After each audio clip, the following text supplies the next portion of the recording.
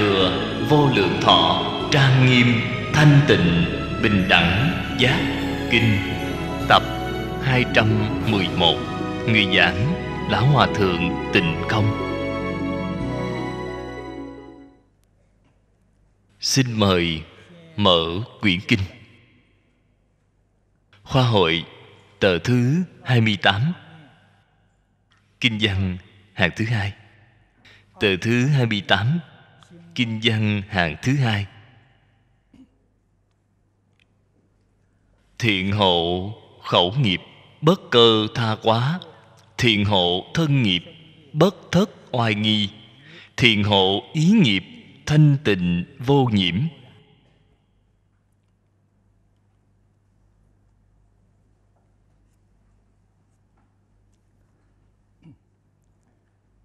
Cái đoạn này là khéo giữ ba nghiệp. Là thế tôn. Ở bổn kinh. Đối với đệ tử sơ học chúng ta. Phát tâm cầu sanh tịnh độ. Khai thị quan trọng nhất. Trong nhị lợi hành.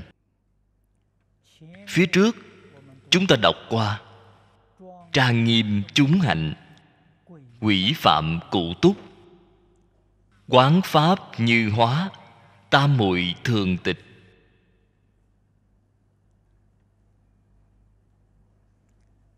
Hôm nay, đây là cái đoạn nhỏ thứ ba. Đoạn nhỏ thứ ba này kinh văn không dài. Chúng ta nhất định phải ghi nhớ ở trong tâm.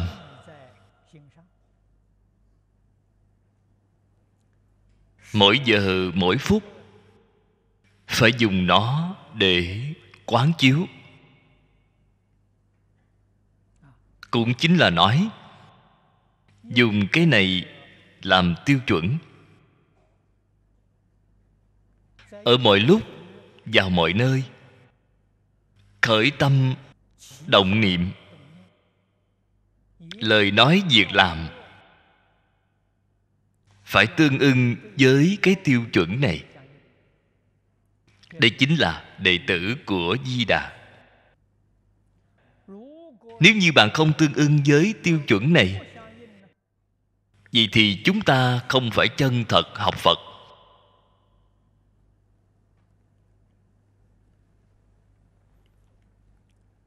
Từ ngay chỗ này mà quan sát. Đệ tử phật. Đặc biệt là đệ tử di đà. Cùng đệ tử phật thông thường, đích thực là không giống nhau. Ở trong bổn kinh thế tôn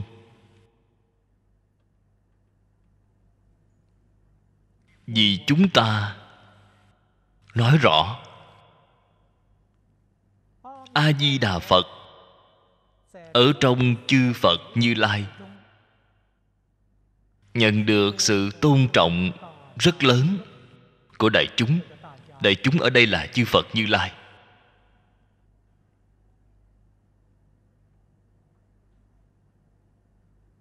Do đó đệ tử của di đà. Ở ngay trong chư phật như lai. Cũng như vậy nhận được tôn trọng đặc biệt của đệ tử chư phật. Mọi người tại vì sao tôn trọng bạn? Chính là bạn nhị lợi cụ túc.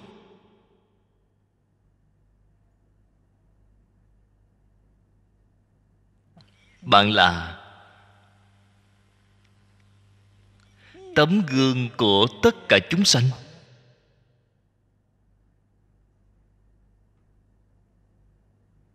Là mô phạm ngay trong tất cả đệ tử phật. Đương nhiên nhận được sự tôn trọng của mọi người. Đệ tử di đà ngay trong ý thức trang nghiêm chúng hạnh ủy phạm cụ túc. Họ có cái ý thức này, có cái ý niệm này. Dùng lời của chúng ta để nói, có cái nguyện tâm này.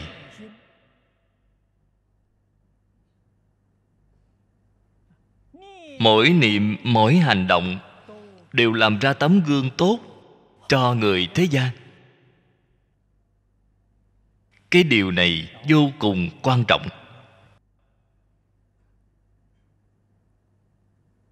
Lại có trí huệ cứu cánh viên mãn.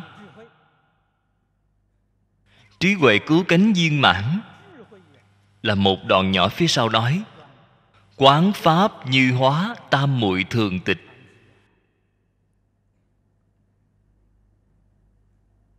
Quán pháp như hóa câu này là trí huệ viên mãn. Tam muội thường tịch là đức hạnh viên mãn.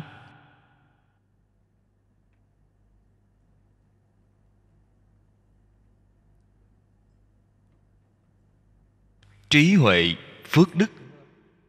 Hai loại viên mãn. Đây là chúng ta xưng tán phật đà là nhị túc tôn. Chính là hai câu này.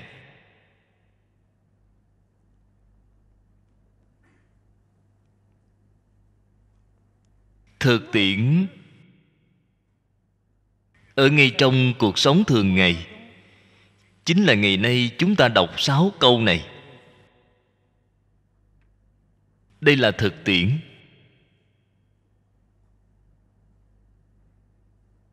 Ba nghiệp thanh tịnh. Nếu như không có hai đoạn phía trước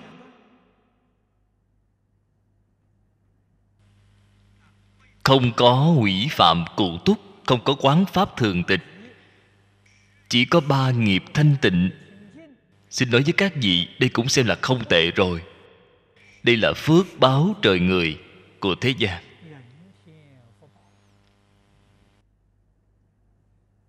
Không ra khỏi tam giới, cũng chính là không ra khỏi sáu cõi.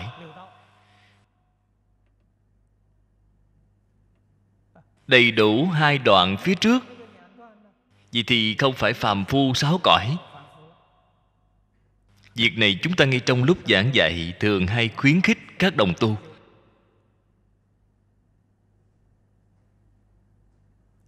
Học phật, chỗ tốt ở chỗ nào? Tại vì sao phải học phật?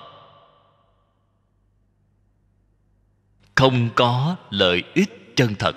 Chúng ta hà tất phải học chứ. Lợi ích chân thật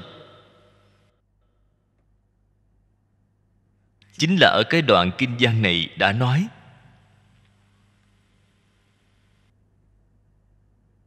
Trí huệ viên mãn, phước đức viên mãn.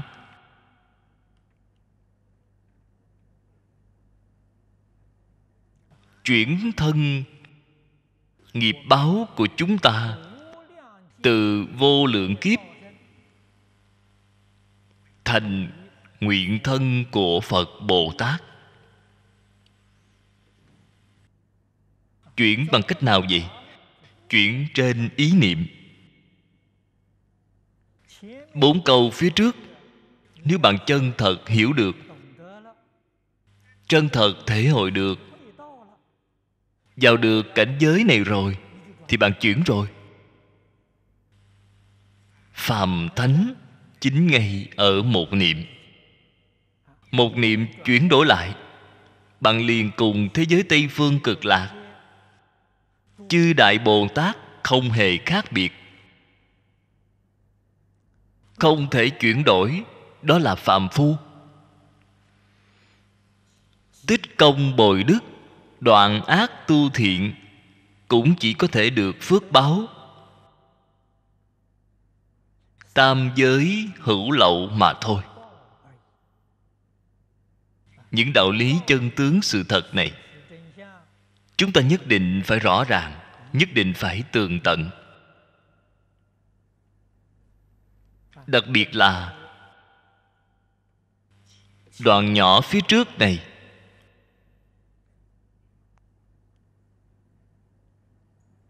quán pháp như hóa. Đây là nhìn được thấu. Tam muội thường tịch là buông được xuống.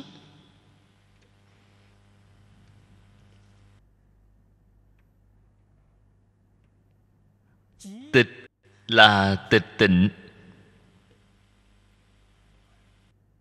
Cũng chính là chúng ta thường nói tâm thanh tịnh. Trong tâm thanh tịnh chắc chắn không có chút nào nhiễm trước. Nếu như có chút nào nhiễm trước, cái tâm này liền không thanh tịnh.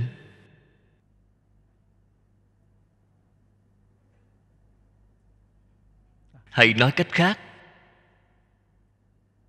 cần phải buông xả tất cả, không chỉ pháp thế gian buông xả. Cái buông xả này chính là không để ở trong tâm. Phật pháp cũng buông xả. Phật pháp cũng không nên chấp trước. Để vào trong tâm chính là chấp trước. Không thể chấp trước.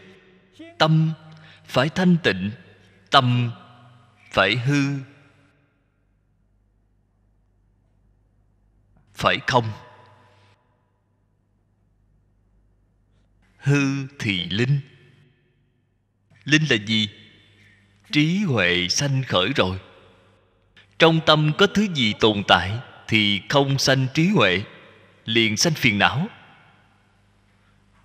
Trí huệ liền biến thành phiền não. Trong tâm để nó trống không. Để đó trong sạch vô nhiễm, cái tâm này liền sanh trí huệ cho nên, đại sư huệ năng, tổ thứ sáu của thiền tông, ở trong đàn kinh nói, bổn lai vô nhất vật. Đó chính là thường tịch, bổn lai vô nhất vật.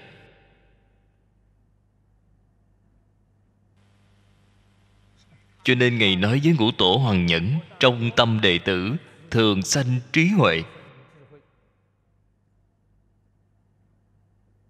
Tại vì sao thường sanh trí huệ bổn lai vô nhất vật?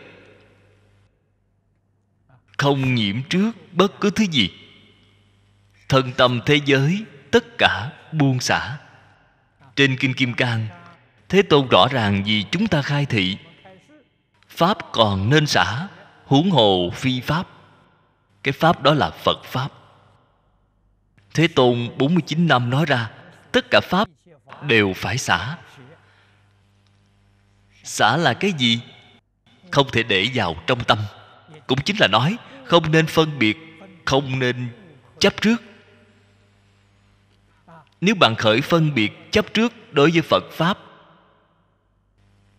bạn ta muội cũng không có.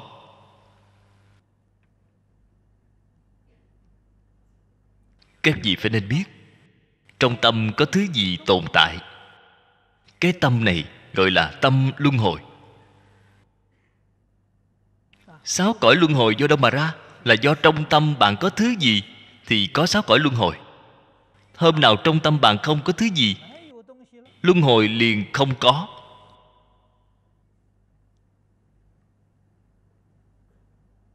Lời nói này rất khó giảng. Nói ra rồi, sợ mọi người nghe rồi, sẽ ra hiểu lầm nghe nói trong tâm không có bất cứ thứ gì, thì có thể siêu dược luân hồi. Tốt. Bạn đem thân tâm thế giới, mọi thứ thể đều buông xả. Tất cả cũng không phân biệt, cũng không chấp trước.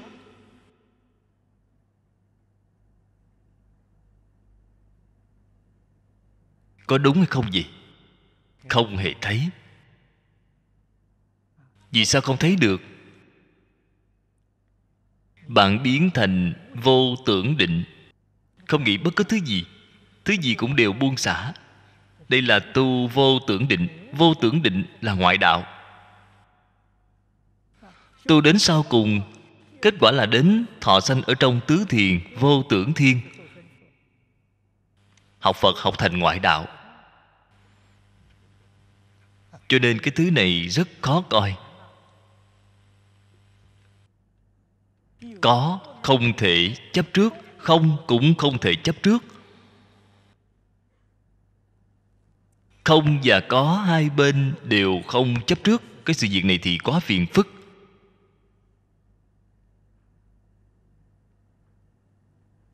Bạn phải nên hiểu được cái gì gọi là không và có hai bên đều không chấp trước.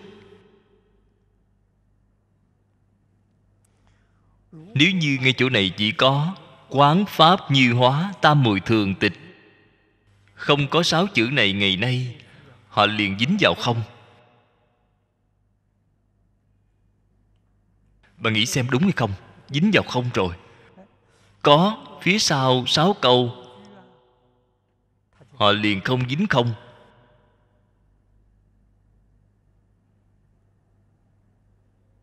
Tuy không dính không họ lại quán pháp như hóa tam mùi thường tịch.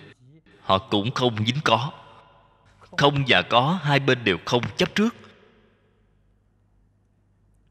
Cho nên, họ là tích cực, họ không phải tiêu cực. Chúng ta phải hiểu rõ cái đạo lý này. Tích cực đi biểu diễn vì tất cả chúng sanh làm mô phạm.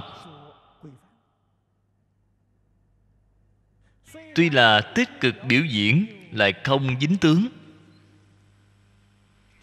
Đây gọi là không và có, hai bên đều không chấp trước.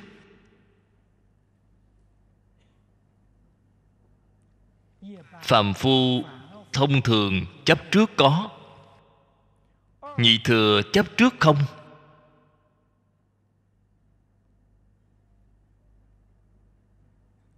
Đều có sai lầm.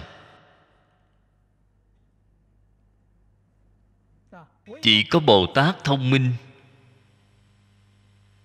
Bồ tát hành trung đạo.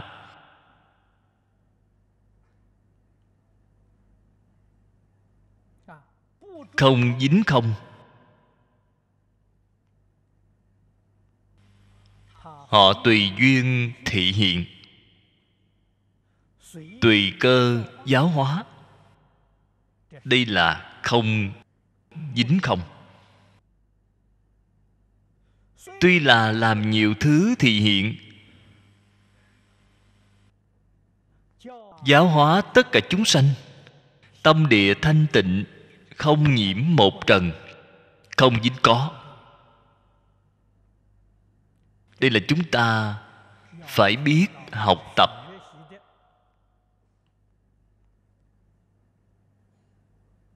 Tu học như vậy mới có thể vào được cảnh giới của phật.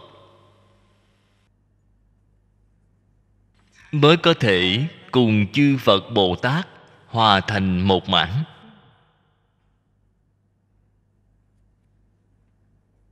Ba nghiệp là thân khẩu ý.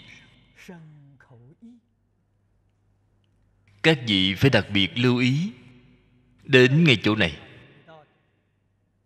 Ba nghiệp nói thân khẩu ý.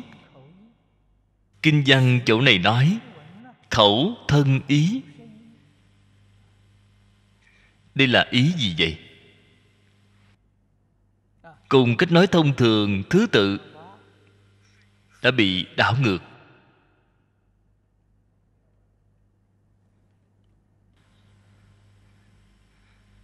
Không phải kinh văn sắp xếp sai.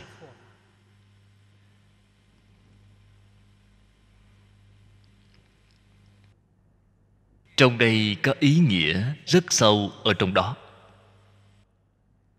Đại phạm chúng ta tạo nghiệp. Khẩu nghiệp tạo được rất nhiều. Khẩu nghiệp tạo được rất nặng. Cho nên đem khẩu nghiệp xếp vào thứ nhất. Đặc biệt nhắc nhở bạn, chúng ta ở ngay trong cuộc sống thường ngày hữu ý vô ý, đều đang tạo khẩu nghiệp.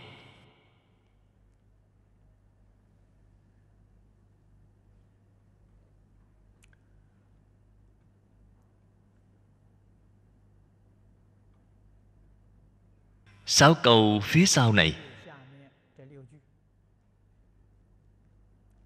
Là ba cương lĩnh lớn của bồ tát tu hành.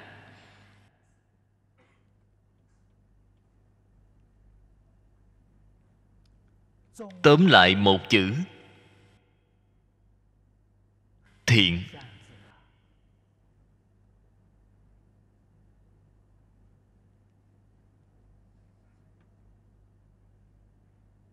Trong ba nghiệp, nặng nhất là ý nghiệp. Dễ dàng phạm nhất là khẩu nghiệp.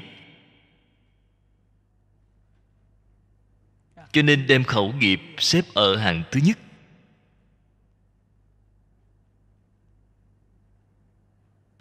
Phạm phu vào cửa. Phải từ chỗ này mà vào. Cần phải giữ khẩu nghiệp.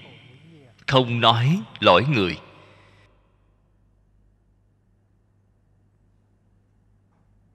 Việc này ở trong phật pháp không luận đại thừa tiểu thừa không luận tông môn giáo hạ,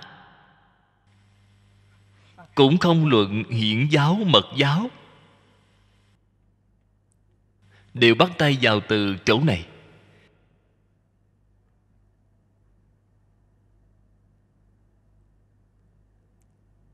Chúng ta ở ngay trong một đời.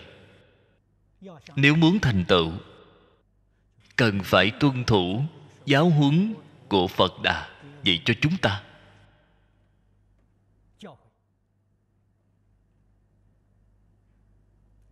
Đặc biệt là, thế tôn trước khi nhập diệt, vậy chúng ta tứ y pháp.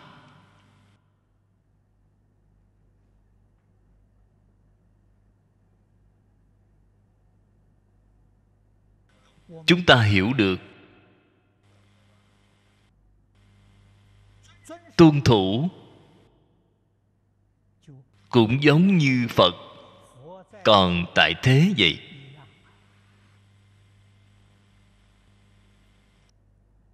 Nếu như trái giới tứ y pháp, cho dù phật ở ngay bên cạnh chúng ta chúng ta cũng không có được lợi ích của phật pháp.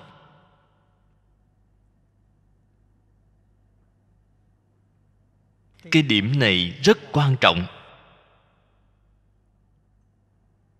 Tứ y pháp câu thứ nhất về chúng ta, y pháp bất y nhân. Phật không còn ở đời. Truyền thừa của phật pháp do đệ tử đời sau. Ngay trong đệ tử thành tựu, có cao thấp không như nhau.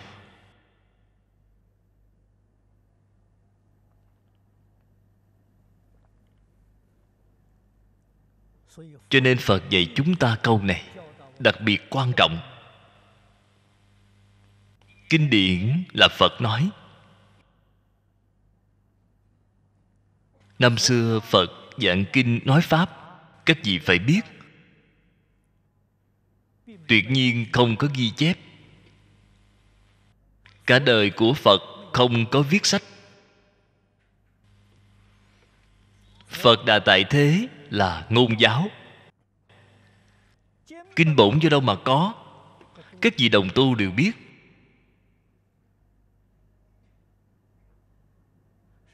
Là tôn giả a nan kết tập. Cùng một số các đồng tu. Kết tập lần đầu là 500 đại a la hán. Tôn giả a nan lên đại trùng tuyên giảng lại. Cái gì phải biết được chúng ta ngày nay, trong lớp bồi huấn huấn luyện đồng tu để các vị lên đài giảng giảng lại. Cái giảng lại này là chúng ta tổ tổ truyền nhau. Tôn giả a nan truyền lại.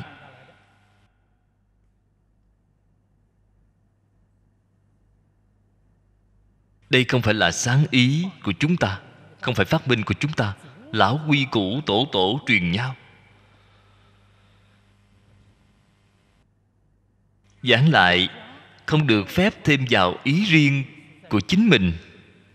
Vào trong, thêm ý riêng của chính mình vào trong, vậy thì bạn sai rồi. Ngày nay có mấy người hiểu được đạo lý này?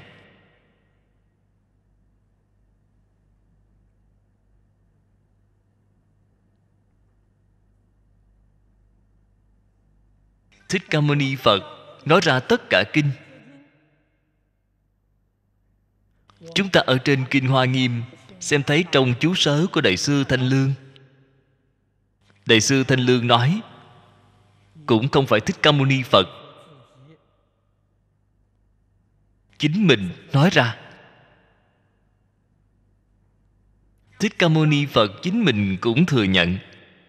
Ngày ngay trong một đời không nói ra một câu nói nào, không nói qua một chữ nào. Nếu ai nói phật nói pháp, đây là bán phật lời nói này là thật, không giả chút nào. Ngài đã nói 49 năm. Nói nhiều đến như vậy, tại vì sao nói không nói chữ nào? Không nói một câu nào. Ngài nói ra đều là cổ phật đã nói. Không phải chính mình nói. Cùng thái độ khổng lão phu tử của trung quốc, hoàn toàn như nhau. Khổng lão phu tử nói, ông chính mình đã nói thuật nhi bất tác. Phu tử không có sáng tạo. Đều là truyền nói, giáo huấn của cổ thánh tiên hiền. Không có ý riêng của chính mình. Do đây có thể biết, thích ca mâu ni phật đã nói là cổ phật quá khứ đã nói. Chúng ta học phật phải tường tận cái nguyên lý nguyên tắc này. Cho nên vậy mới biết được, đại tạng kinh là phật phật truyền nhau. Không phải sáng tạo của thích ca mâu ni phật.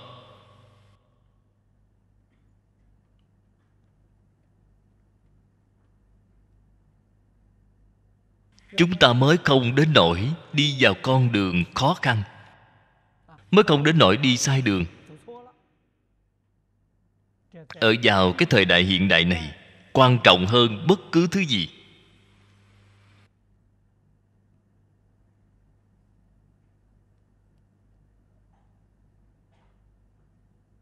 Do đây có thể biết, tu học của chúng ta cần phải nương vào kinh điển. Kinh điển quá nhiều rồi, chúng ta rốt cuộc nương vào bộ kinh nào? Nhất định phải biết căn tánh của chính mình.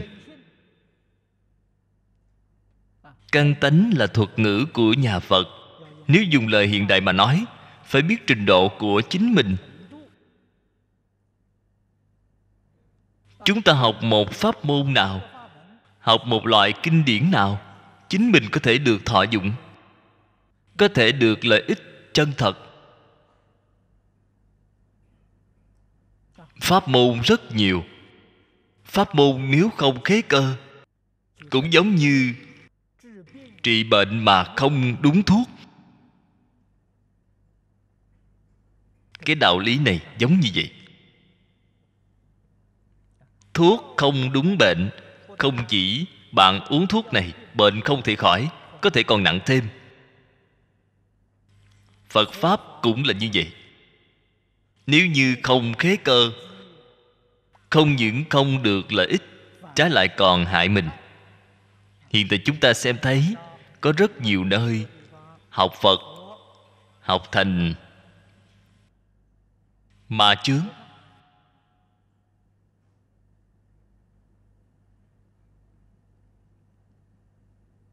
Hiện tại danh từ trong y học học thành thần kinh phân liệt. Phật pháp chúng ta gọi là trước ma rất nhiều. Do nguyên nhân gì? Thuốc không đúng bệnh. Pháp môn không khế cơ. Học phật học thành tẩu hỏa nhập ma. Sau cùng, thì chỉ có vào bệnh viện thần kinh. Rất đáng tiếc. Tôi xem thấy rất nhiều người trẻ tuổi đã học qua giáo dục cao đẳng ở hoa kỳ, lấy được thạc sĩ tiến sĩ. Chưa học phật thì rất tốt, rất bình thường. Học phật học được nửa năm, một năm, liền vào bệnh viện thần kinh. Rất là đáng tiếc. Không phải phật pháp không tốt, họ không đúng bệnh. Không khế cơ của họ. Họ mới biến thành một hậu quả như vậy vì này chúng ta không thể không biết. Nếu như thật tại, không biết căn tánh của chính mình, làm như thế nào chọn lựa pháp môn? Giả như bạn chân thật tin tưởng thích ca mâu ni phật, chịu tiếp nhận kiến nghị của ngài là việc tốt.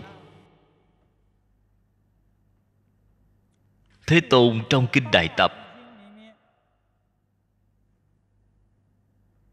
ám thị cho chúng ta rất tốt. Dùng lời hiện tại để nói cũng là dự ngôn.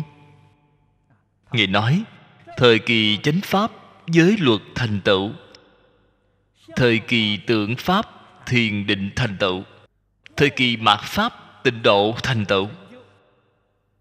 Đây là chỉ ra cho chúng ta một đại phương hướng. Vì chúng ta ngày nay sinh vào thời kỳ mạt pháp thời kỳ mạt pháp tịnh độ thành tựu. Chúng ta chọn lấy pháp môn tịnh độ. Đại khái không hề sai. Đây là chịu tiếp nhận chỉ đạo của thế tôn. Trên đại thể không hề sai. Hiện tại chúng ta xem thấy trong xã hội, tuyệt đại đa số học phật, dính ma phần nhiều đều là học mật, học thiền. Hai loại này tương đối dễ dàng dính ma do nguyên nhân gì? Hai thứ này thực tế mà nói, rất khó thích hợp căn tánh của người hiện đại. Tâm của người hiện đại bao trao họ không thể định lại.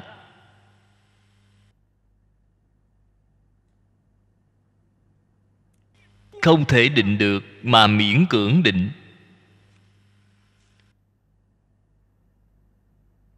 Dùng phương pháp đem nó khống chế lại để định. Đây là không phù hợp với pháp tắc tự nhiên.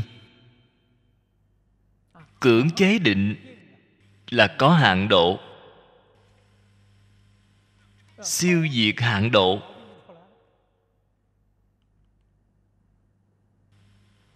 Tâm bệnh liền xuất hiện. Do đó, tu học phật pháp cần phải thuận theo căn tánh của chúng ta, đó là tự nhiên. Tự nhiên thì sẽ không có phiền não, sẽ không rối loạn trật tự. Cái đạo lý này không thể không biết. Phải biết làm thế nào chọn lựa pháp môn. Kinh điển của tịnh tông không nhiều, bao gồm tất cả tông phái. Kinh điển tịnh tông ít nhất chỉ có năm kinh một luận. Chỉ có sáu thứ. Cái này đối với người hiện đại mà nói, đích thực là phương tiện. Nhất là đồng tu ở tại gia. Phân lượng ít, dễ dàng học. Lại huống hồ, sáu loại này, chỉ cần có một loại thì đủ rồi. Không cần sáu loại đều học. Học một loại thì được rồi.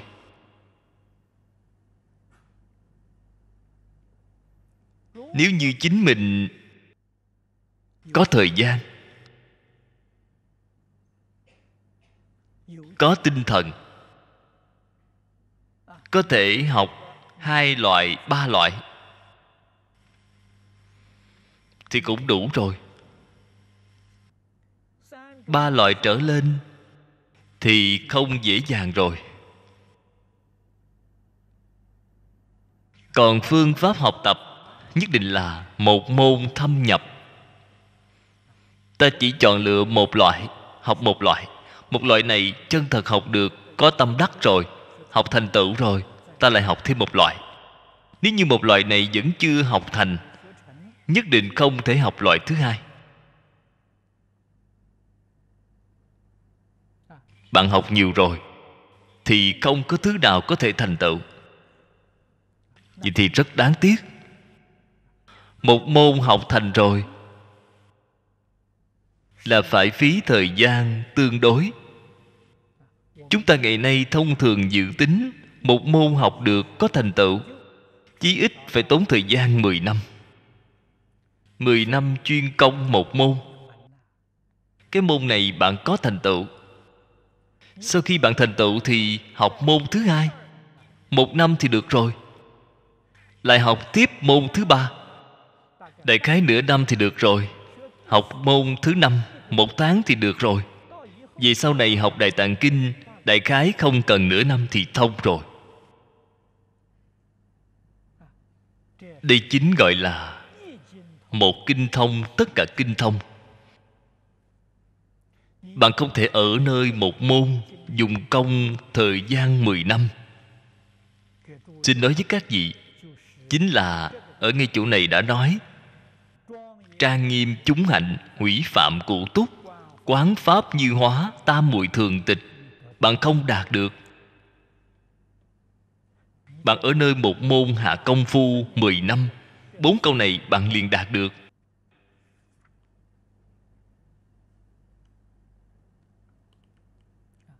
Bạn mới là đệ tử Phật chân thật. Bạn mới là chúng sanh chân thật giác ngộ. Nếu dùng danh từ Phật học để nói, Bạn mới là một Bồ Tát chân thật. Bồ Tát chính là chúng sanh giác ngộ. Bạn đã chuyển phàm thành thánh. Mười năm trước, bạn là phàm phu, mười năm sau, bạn là thánh nhân. Thực tế mà nói, mười năm cũng không xem là dài lắm. Bạn phải có tâm nhẫn nại, phải có thể vượt qua được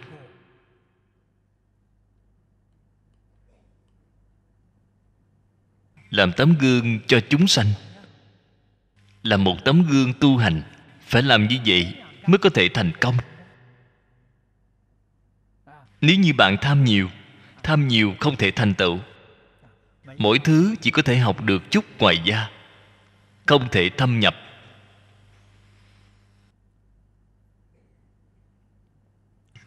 Đây là nói rõ y pháp bất y nhân người đó nói ra không đúng pháp. Chính là không có kinh điển, kinh văn làm y cứ. Chúng ta đều có thể không tiếp nhận. Nhất định phải có kinh điển làm y cứ.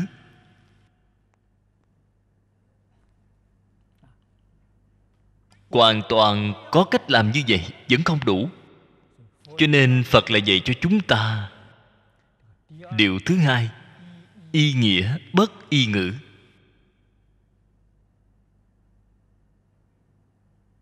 Quan trọng nhất, nghĩa lý phật nói quan trọng. Ngôn ngữ không quan trọng. Cái giáo huấn này của phật, đối với hậu học của chúng ta, giải quyết được rất nhiều vấn đề trọng đại vấn đề trọng đại của người sau là gì?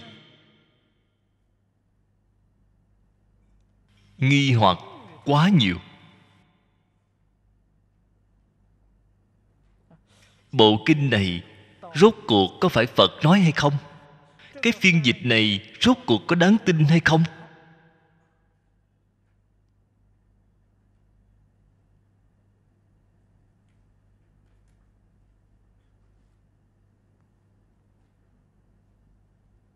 Loại nghi hoặc này.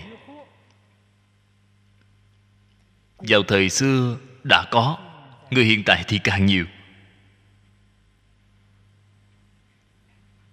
Cho nên câu nói này phật giúp cho chúng ta giải đáp rồi.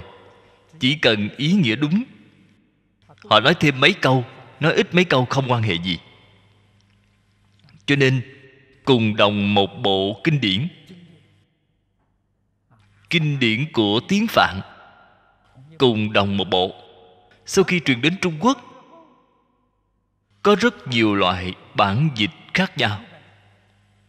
Như kinh kim cang, hiện tại trong đại tạng kinh đã có sáu loại bản dịch khác nhau.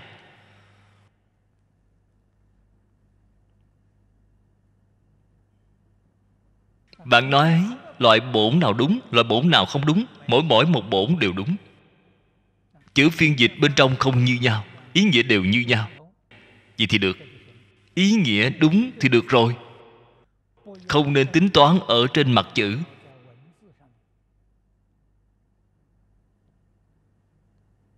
Cái vấn đề này giải đáp cho chúng ta rồi. Chúng ta học phật cũng phải hiểu được. Không nên chú trọng ở hình thức quá mức. Phải chú trọng thực chất.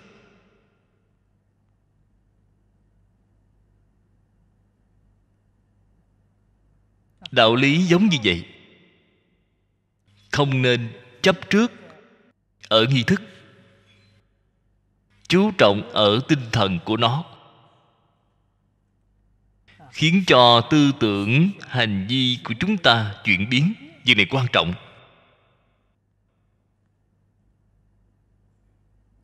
Nghi thức cũng không thể nào xem thường.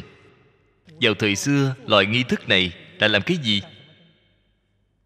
Hai loại tác dụng. Một cái tác dụng là mỗi giờ, mỗi phút nhắc nhở chính mình. Ngoài ra, một tác dụng là tiếp dẫn những đại chúng vẫn chưa phát tâm học phật. Nghi thức là hai loại ý nghĩa này. Chúng ta chính mình học phật rồi. Trong nhà thiết lập phật đường cúng dường tượng phật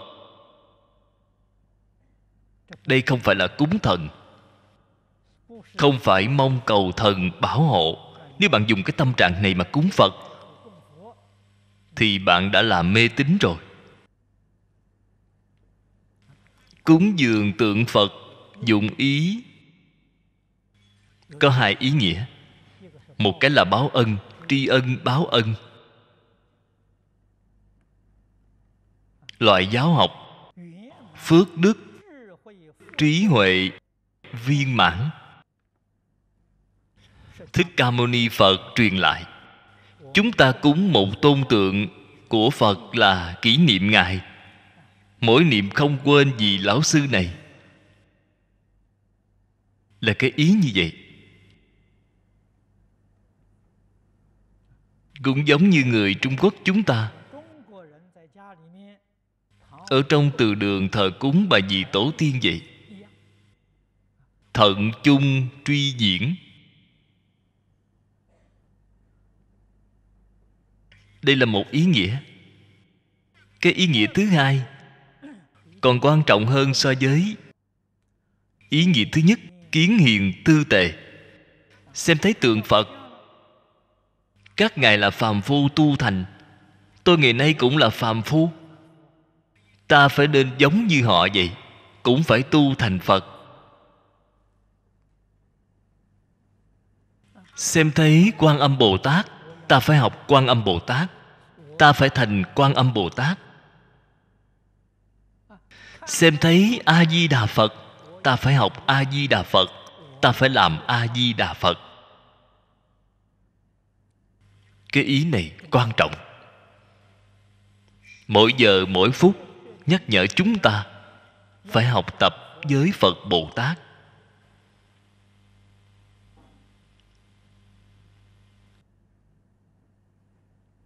Cho nên cúng dường tượng phật công đức lợi ích. Vô lượng vô biên, chính ngay chỗ này. Nếu bạn đem ngài xem thành thần minh, không những không có công đức, còn có tội lỗi. Tội ở chỗ nào? Đề xướng mê tín. Phật pháp làm phá mê khai ngộ bạn thì trái ngược với phật. Bạn đề xướng mê tín. Vậy thì sai rồi. Cho nên phải hiểu được y nghĩa bất y ngữ. Cái ý nghĩa trong đây rất sâu. Thứ ba, dạy bảo chúng ta y liễu nghĩa, bất y bất liễu nghĩa. Câu nói này nó được quá tốt. Cái gì gọi là liễu nghĩa? Liễu nghĩa là đối với chính mình ngay đời này, có được lợi ích chân thật. Đây gọi là liễu nghĩa. Đối với ngay đời sống của chúng ta, không có lợi ích chân thật, vì thì cái này đối với ta chính là bất liễu nghĩa. Hay nói cách khác, bạn ở trong tất cả kinh, chọn lấy một bộ kinh, đây là liễu nghĩa. Bạn chọn lấy mấy chục bộ, mấy trăm bộ kinh vậy thì không liễu nghĩa. Vì sao vậy? Bạn chắc chắn không có lợi ích.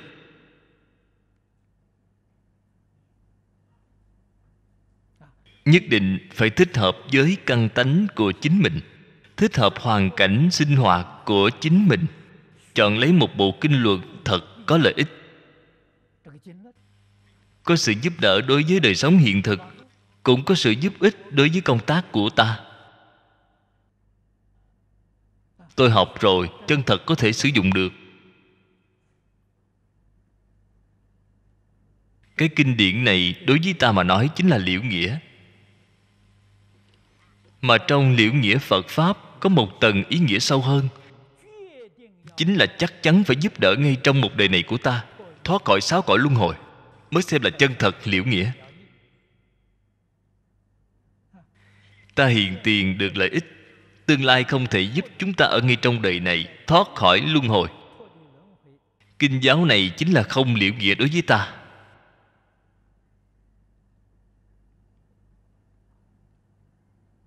Đây là dạy chúng ta tiêu chuẩn để lựa chọn. Tứ y pháp, ba điều phía trước dạy cho chúng ta. Chọn lựa pháp môn phải nên suy nghĩ những điều kiện nào? Để chúng ta chọn lựa pháp môn.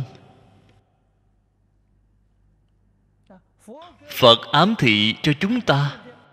Thời kỳ mạt pháp tinh độ thành tựu, pháp môn này là tốt, pháp môn này không chỉ. Bạn ngay đời này thoát khỏi sáu cõi luân hồi. Còn siêu diệt mười pháp giới, rất nhiều pháp môn có thể giúp bạn thoát khỏi sáu cõi luân hồi chứng được quả a la hán quả bích chi phật, quyền giáo bồ tát quả dị không ra khỏi mười pháp giới. Thế nhưng đó cũng xem là liễu nghĩa. Liễu nghĩa không thể nói là cứu cánh liễu nghĩa. Pháp môn tịnh độ là cứu cánh liễu nghĩa. Ngay trong đời này, không chỉ bạn siêu diệt sáu cõi mười pháp giới cũng siêu diệt không những siêu diệt mười pháp giới, sanh đến thế giới tây phương cực lạc, liền chứng được quả vị a duy việt chí. Cho nên gọi là cứu cánh liễu nghĩa.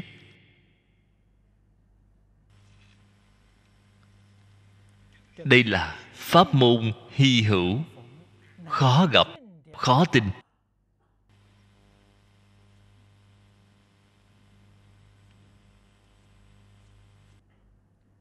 Chính là đại đức xưa đã nói, trăm ngàn muôn kiếp khó gặp được. Không nên cho rằng dường như chúng ta có được quá dễ dàng. Có được thì thực tế không dễ dàng. Thân người khó được, phật pháp khó nghe, nhất là pháp môn tịnh độ.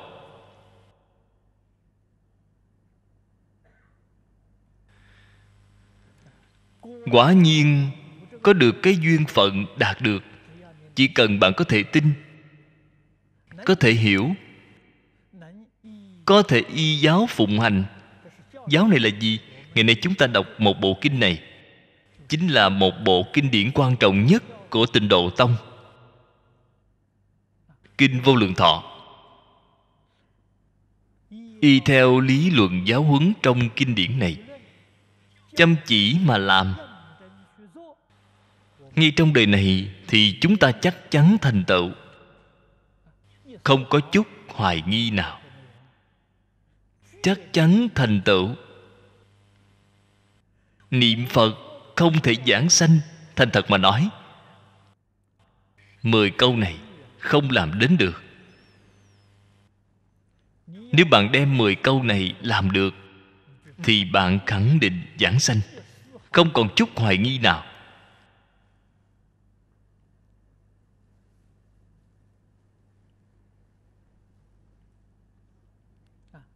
Cái đầu tiên.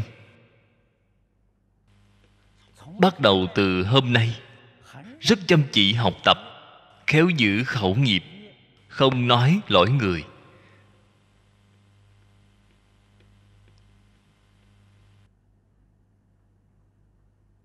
Tu hành của tình tông, bắt đầu tu từ chỗ này.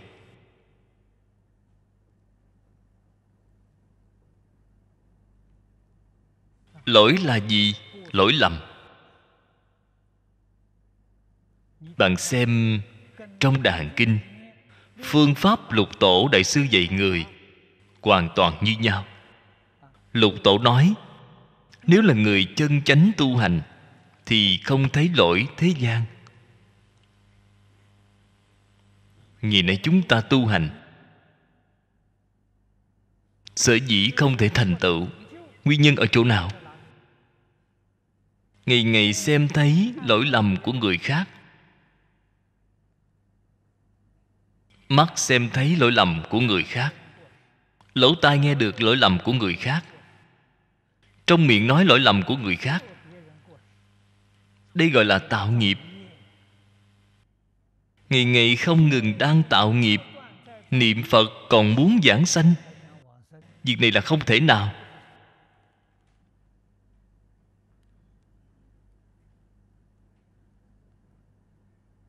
Cho nên sau khi đọc kinh này rồi, chúng ta biết được tại vì sao người niệm phật không thể giảng sanh.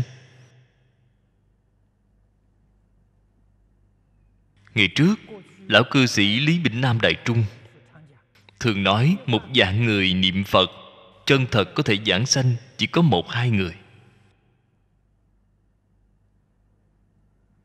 Một hai phần dạng tại vì sao nhiều người như vậy niệm phật không thể giảng sanh? Bạn đem 10 câu kinh văn này đọc qua vài lần, bạn liền hiểu rõ. Họ tại vì sao không thể giảng sanh? Họ không có thật tu. Họ không hiểu được cái đạo lý này. Không hiểu rõ chân tướng sự thật. Tây phương gọi là tịnh độ. Bạn nghĩ xem cái gì gọi là tịnh? Hơn nữa phật ở trên kinh lại nói, tâm tịnh, thời cõi phật tịnh. Mắt nhìn thấy là lỗi lầm, nghe là lỗi lầm, nói là lỗi lầm. Tâm của bạn làm sao thanh tịnh? Tâm không thanh tịnh, làm sao có thể sanh tịnh độ? Cho nên niệm phật cũng không hữu dụng. Một ngày niệm mười giảng câu Phật hiệu, Niệm một trăm giảng câu Phật hiệu Đều không thể giảng sanh. Vì sao vậy? Tâm không thanh tịnh.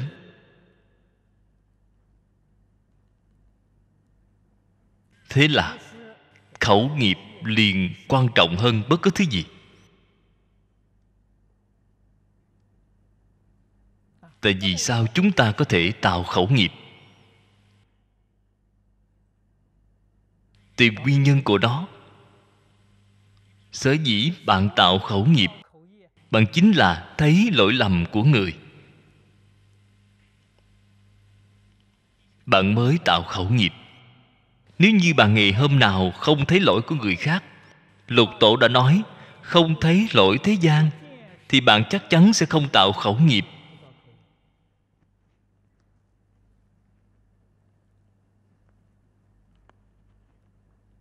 Người chân thật tu hành không giống như người phàm phu thông thường chúng ta người phàm ngày ngày thấy lỗi của người khác. Người chân thật tu hành, trái ngược với chúng ta. Họ ngày ngày thấy lỗi của chính mình, không thấy lỗi của người khác. Phàm phu chúng ta là ngày ngày thấy lỗi của người khác, không thấy lỗi của chính mình. Chính mình không có lỗi lầm. Chính mình không có lỗi lầm, liền tạo ba đường. Liền phải đọa ba đường có thể ngày ngày thấy lỗi chính mình mà không thấy lỗi người khác. Con người này trình độ hướng lên trên.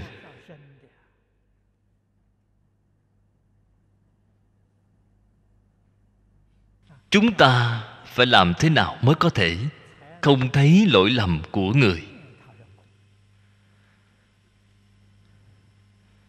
Làm thế nào mới có thể làm được?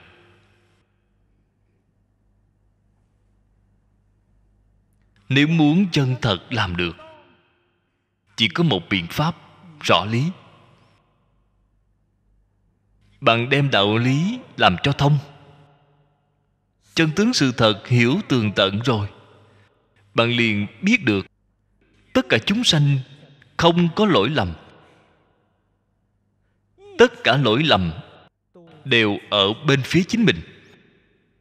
Tất cả chúng sanh đích thực là không có lỗi lầm. Cẩn dịch, vọng tây cư sĩ. Địa chỉ email vọng tây cư sĩ a gmail com. Người đọc hạnh quan phát tâm cúng dường do gia đình phật tử thiền chân thành kính cúng dường. Nguyện cả thảy chúng sinh đều tín niệm di đà, đồng cầu sanh về nước cực lạc. Nguyện đem công đức này trang nghiêm cõi nước phật, trên đền bốn ân nặng, dưới cứu khổ ba đường. Nếu có ai thấy nghe, đều phát tâm bồ đề, hết một báo thân này, đồng sanh về nước cực lạc. Nam mô a di đà phật.